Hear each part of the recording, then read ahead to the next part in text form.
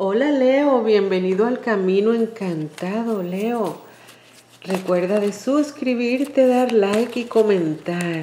Y tenemos eventos astrológicos muchos en este mes de abril, pero vamos a hablar de uno de los más importantes que son el eclipse solar que tú Leo lo vas a tener en tu casa número 9, que es una casa de viajes, es una casa de religiones, es una casa de viajes largos y de política, de estudios. Es allí donde vas a tener ese eclipse. Esa es una casa ariana porque el eclipse se va a dar en Aries y todos tenemos ah, algo de ariano en, nuestro, en nuestra carta natal. Pero también fíjate que Júpiter, el planeta benefactor, que eh, sus energías magnifican la potencia de lo que tenemos nosotros, eh, bueno o malo, igual se multiplica, así que hay que vigilar los pensamientos, los sentimientos, para que podamos lograr que Júpiter nos amplíe las buenas nuevas, las cosas maravillosas. Y entonces eh, también lo vas a tener en esa misma casa de viaje, en esa misma casa de políticas, de religiones, de estudios, de filosofías de vida. También ahí vas a tener esa a Júpiter y al eclipse. ¿Y qué más? ¿Todavía hay algo más? Bueno, eh, también vamos a tener un, un Mercurio retrógrado. Así que hay que ponerse las pilas porque tienes un eclipse de sol. Si te propones viajar, por ejemplo, revisa todo, que tengas todo, que no se te quede nada. Eh, bajar la velocidad si manejas para evitar problemas. Eh, hay que también pensar en, revisar pasaportes, eh, todo tipo de visas, permisos, etcétera, porque eso está complicado. Así que si estamos preparados, aquí está el camino encantado que te lo está recordando. Tienes aquí, vamos primero este grupo de cartas por ti, Leo. Tienes un 10 de copas. ¡Qué maravilla! Entonces esto quiere decir que en este momento, de alguna manera, eh, están pasando por una estabilidad emocional. Muchos de ustedes vienen arrastrando separaciones, eh, divorcio, etcétera o eh, reanudaciones de, pareja, en fin, pero eh, aunque nos hayan pasado cosas buenas, cosas malas, como quiera que sea, viene un momento ahora de a partir de abril y te va a acompañar esa energía por varios meses, donde te vas, te vas a estabilizar, vas a encontrar como tu balance interno. Generalmente cuando alguien se va de la vida de nosotros queda como un vacío. Bueno, eh, todas esas cosas se van a limpiar, se van a llenar, vas a estar con una estabilidad, con una, una paz interna, en fin, te vas a estar sintiendo con una felicidad emocional que te vas a dar cuenta a pesar de todas las cosas que el mundo está viviendo. Así que eso es positivo,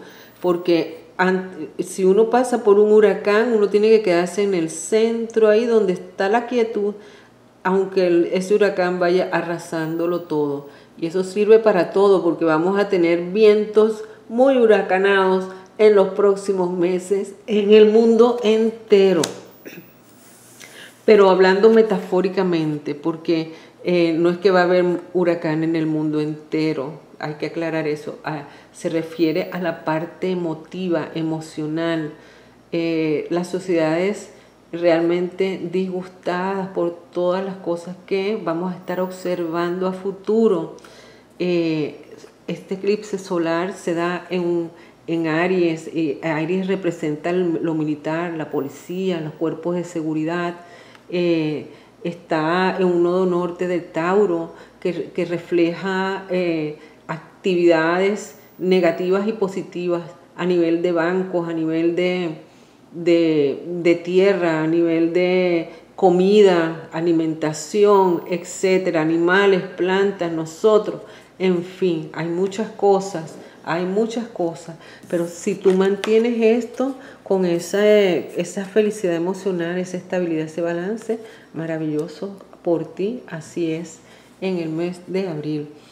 Tenemos aquí un 8 de basto, un 8 de basto que está hablando de que vienen noticias muy buenas para ti y que se termina una etapa que has vivido hasta ahora. Así que prepárate, Leo, que viene una nueva etapa en tu vida. Eh, te sale el 12 de... Este es un arcano mayor, el colgado. El colgado nos está hablando de tener algún momento de contemplación, porque quizás a lo mejor te has venido sintiendo hasta este momento de esta energía de eclipse que viene, te has sentido agobiado, te has sentido que has hecho mucho sacrificio en tu vida por ti, por los demás, pero tienes que soltarte de ahí porque eh, no puedes quedarte en esa manera pensando en todas las cosas que has hecho o no. Se requiere esa fuerza para lo que viene a futuro, así que te tienes que levantar de allí y contemplar la vida de otra manera. Una manera diferente es que la misma vida te va a llevar, porque definitivamente vienen cambios para todos, para todos definitivamente a partir de esta energía que vamos a estar ah, reflejados en nuestras vidas ahora en todo este mes de abril y los subsecuentes meses porque estos eclipses su energía dura permanece por varios meses sobre sobre todo uno de esta potencia. Entonces vamos a seguir adelante. Por tu casa Leo que vamos a ver por tu casa Por tu casa aquí está un 3 de basto que está diciéndote que has tenido algunos problemas familiares, eh, alguna situación que tienes que evaluarla mejor desde la distancia. Tienes que tomar un paso atrás y pensar sobre la situación. Entonces, algunos de ustedes estarán presentando bien sea eh, problemas con los ex, o problemas con los actuales o problemas simplemente familiares con el grupo familiar que no se ponen de acuerdo. Tiene mucho que ver a lo mejor de si no estás ganando suficiente, si yo gano más que tú, ese tipo de cosas, pero hay que tomar distancia y no hay que engancharse ni enredarse en ese tipo de situaciones. Sigues aquí con el paje de copas, quiere decir que hay una buena noticia en puerta un paje de copas dice que es el comienzo de una nueva relación. Así que hay un, sentimiento de entusiasmo de tu parte. Así que nace un sentimiento nuevo aquí. Cuidado si estás comprometido. O sea que termina tus cosas primero antes de darle paso a algo nuevo. No dejes que las dos cosas se confundan en una misma, en una misma línea de tiempo. Y aquí tenemos la rueda de la fortuna. ¡Wow! Por tu casa hay muchas cosas interesantes, Leo, porque una rueda de la fortuna está hablando definitivamente de un movimiento y un cambio y un fluir de cambios. O sea que lo que, resta desde abril hasta que cierre el año, muchas cosas van a estar muy distintas de cómo comenzaron este año para ti. Y bueno, vamos a continuar a futuro inmediato ¿Qué podemos hablar aquí de este, de este tarot? Vamos a sacar otras cartas.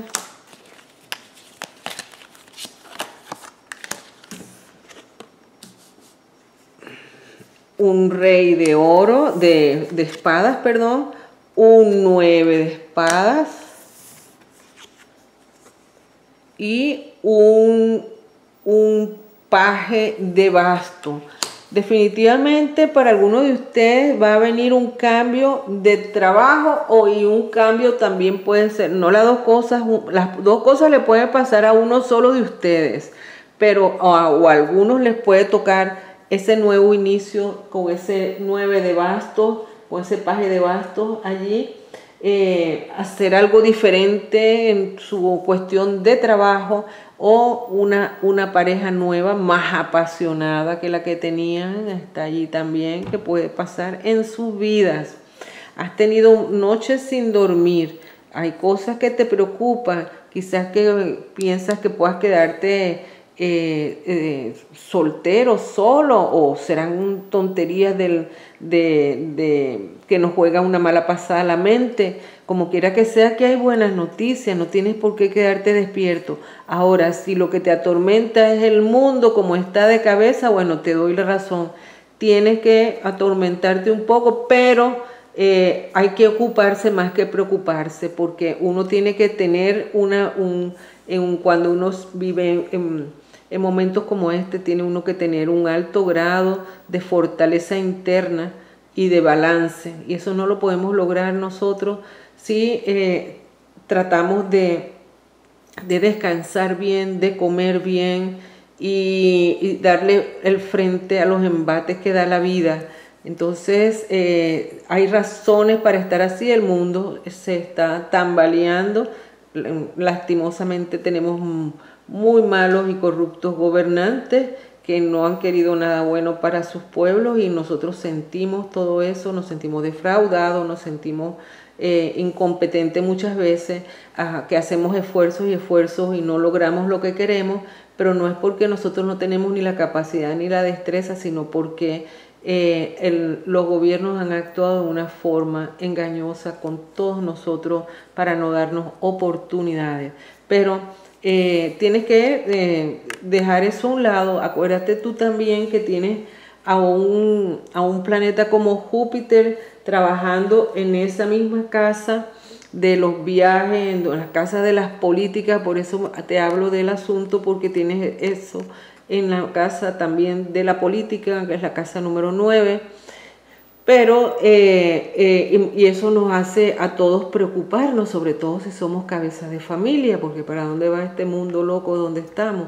Bueno, va para, primero para que nosotros despertemos y nos demos cuenta que ya no podemos seguir siendo indiferentes ni a la política ni a las cosas que pasan. Tenemos que estar más despiertos, escoger mejor y hacer nuestro mejor trabajo nosotros como ciudadanos. Aquí está un rey de espadas que está hablándote de, eh, de defender la verdad, de defender lo ético y lo moral. Muchas veces nosotros nos hacemos indiferentes y vemos las cosas y nos reímos porque vimos un chiste en el teléfono y la cosa, pero la vida no puede ser así de puro chiste, porque entre bobería y bobería a nosotros somos los más perjudicados en general de todas esa gente que, que controlan y, creo que por un largo rato van a estar gobernando el mundo, pero tenemos que hacer algo nosotros para salirnos de esos grupos que son alienantes y poner un poco de ética y moral, como, como dice aquí esta carta.